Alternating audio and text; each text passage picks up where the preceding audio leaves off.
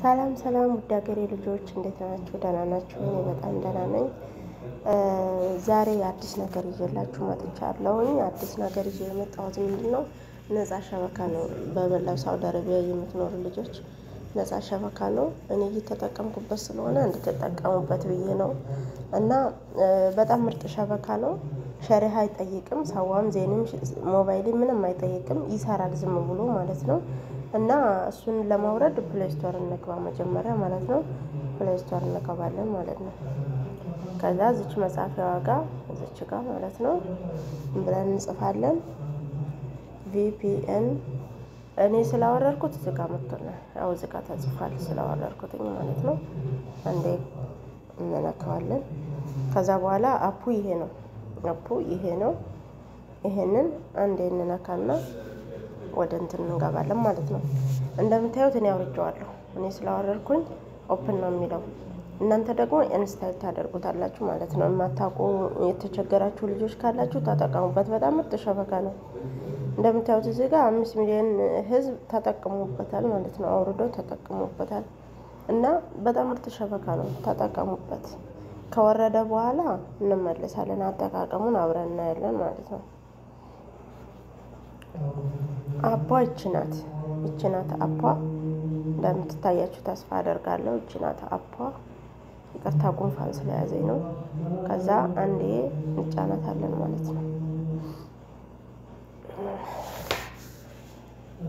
ህይወት ኢትዮጵያን subscribe፣ share፣ comment፣ like እያደረጋችሁ አበረታቱኝ። አዲስ ነኝ ውድ ሀገሬ ልጆች። ከዛ የዚህ ጋር ክቡ ጋር አንዴ እንጫነዋለን ማለት ነው። ማስታወቂያው በጣም ያስቸግራል። አንዴ ከተጫነ በኋላ እስከሚቆጥር መጠበቅ አለብን። ከቆጠረ በኋላ ይሄንን እንቀይራለን ማለት ነው። ይህን መቀየር የምንችለው ከቆጠረ በኋላ ነው። አሁን መቁጠር ጀመረ ማለት ነው። መቁጠር ጀመረ። ከዛ ይችን እንነካታለን። ይችን ብቻ ነው የምንቀይረው። እዚህ ጋር እንደገባ እንዳዲስ ምንም አይነት process የለውም። እዚች ጋር ብቻ ነው ይችን አገሩን መቀየር እንችላለን ማለት ነው። በዚህም መጠቀም እንችላለን። ግን ሀሪፉ ይሄ ነው። እዚህ ጋር ይሄ special ነው የሚለው እዚህ ጋር free የሚለውን ነው የምንነካው ማለት ነው። free ከዛ free የሚለውን ስንነካ የቱ ጋር እንትን እንላለን መሰለ እዚህ ጋር ጀርመኒ ጀርመን አምስት የሚለውን አንዴ እንጫነዋለን ማለት ነው። እሱን አንዴ ከተጫነ በኋላ እዚህ ጋር መጀመሪያው ላይ ራሱን like እናደርገዋለን ማለት ነው። right እናደርገዋለን።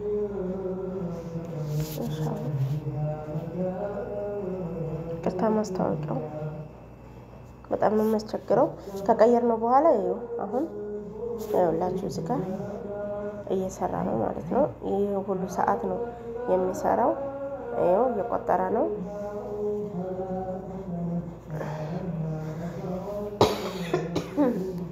ቅርታ ጉንፋን ስለያዘኝ ነው። አሁን እንደምታዩት በርቷል፣ እየቆጠረ ነው።